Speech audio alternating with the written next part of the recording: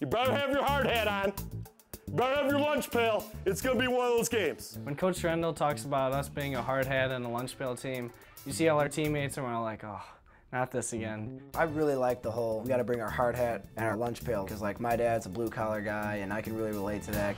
We're a hard hat and lunch pail type of team. For some reason, when I think of him saying that, I just picture all of us wearing hard hats, literally bringing lunch boxes into practice and stuff. Another thing he always says, he is, let's fly around and hit people tonight. When Coach Drendel says fly around, sometimes we think like he's just saying that because he doesn't know what else to say.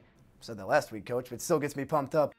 We want to fly around and see where we're at against great teams.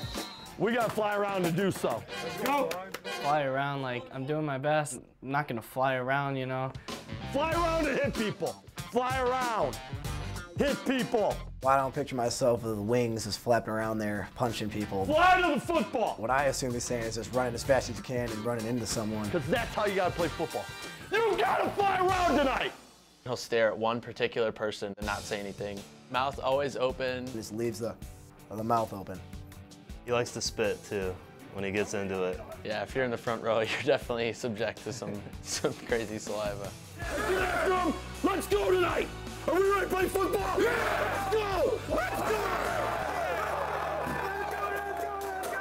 To view this exclusive Xfinity TV programming in its entirety, check the CN100 schedule for a list of airtimes, or view this program anytime on demand by selecting Get Local and choosing CN100.